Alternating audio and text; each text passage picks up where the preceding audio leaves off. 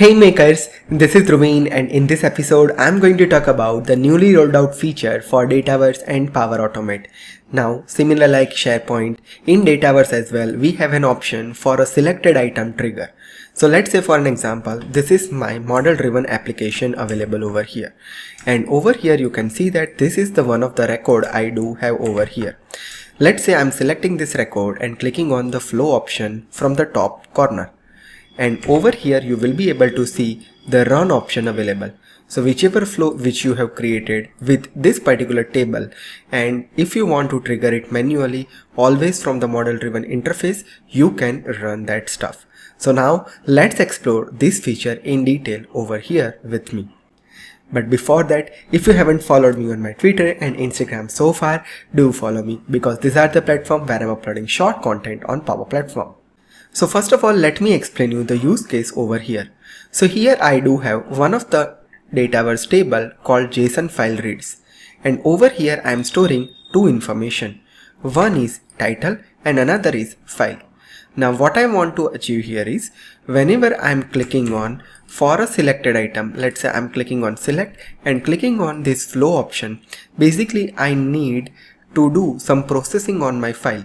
The file contains JSON data which I want to read that inside my Power Automate. So how can I achieve this kind of use case? Sometimes you have a requirement as well like let's say for an example you have model driven application and let's say you want to send some of the data to via some custom connector to your third party system. So at that time as well you can use the same trigger for yourself for a selected item and this will trigger only when you select that record and uh, open the flow and run the flow from here. Okay, so now let's get started by creating this type of flow from scratch. To start with, I'm creating a new flow and I'm creating instant cloud flow from here. Let's click on skip and let's start creating the flow. So over here, let me search for the trigger Microsoft Dataverse. When you search for the trigger, you will be able to see this option. Now remember one thing, right now in the modern interface, this option is not visible. For that, make sure you turn that to the classic designer. So I am turning this to my classic designer. Now, it turned to classic designer and let's search for Microsoft Dataverse. And over here from this option, you can see the new trigger is available and the trigger is when a row is selected. Using this trigger, you can perform this stuff. So let's say for an example, I'm selecting this trigger. Here, you need to supply the name of the table. So let's say for an example, my table name is JSON read data. So let's pick up that. JSON file reads and this is what my table name. Now, whenever you are using this kind of trigger, it will always provide you the GUID for the selected item. And using that you can perform any action. So let's say for an example, in my case, I want to uh, download that file. So I can simply use Microsoft Dataverse and I can simply download that file. Download a file or an image because that file is something I need to parse as a JSON okay?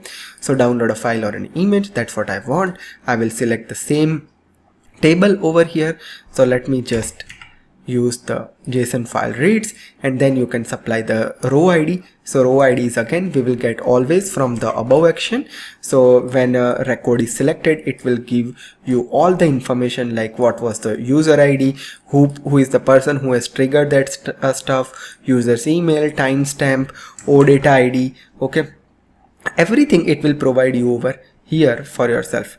So let me search the same name of the table which is my JSON read table and that is something which will give you the unique identify of the record. So this action is returning me this value for us. So let's just pick that and we are getting that and from there I just need to download my file and after that I can perform whatever operation I wanted to do here.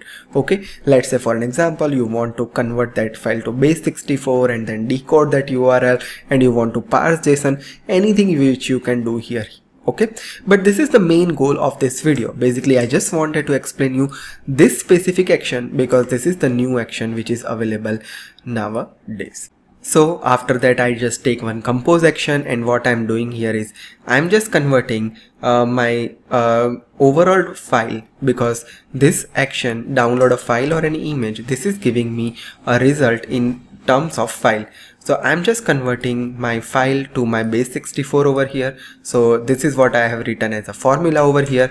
This is just my use case okay? That's why I'm not going into too much detail but main idea is the action okay? And then I'm just decoding my base 64 over here and after that at the end I'm just parsing my overall JSON for here okay so this is what I'm doing here with this new trigger alright and after that let's say for an example if I need to send this JSON via API I can trigger that as well so it's up to you because you know now Power Automate well so at least for yourself this one trigger is something which you need to understand now let's have a look and see how we can run this flow.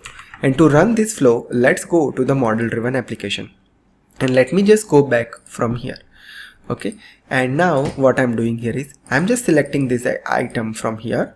Click on the flow option from the top corner and you can see that whatever flow you have saved, it will be available underneath the run section. And now you can simply click on parse JSON and this will start running this flow. So this will open up this kind of pop-up for you. You can see that it is showing the owner name as my name and you can see that uh, this flow uses Microsoft Dataverse. And here you have an option run flow and cancel.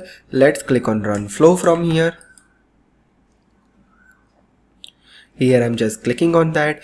And you can see that your flow successfully run. And to monitor go to the flow run page. So when you click on that it will directly redirecting you to the run page from here and from there you can see the run history and you can see that 12 seconds ago it executed successfully. Let me just open this flow and you can see that when a record is selected this is how it looks like and this is how the entire output you are getting over here. Okay? So uh, when it triggered this is basically it is passing uh, as an output and this is what we supplied as an input. Okay? And then even if you look at uh, more stuff uh, it will download the file. After that it just uh, convert to base 64 then decode the url and then at the end it will just parse the json. Okay?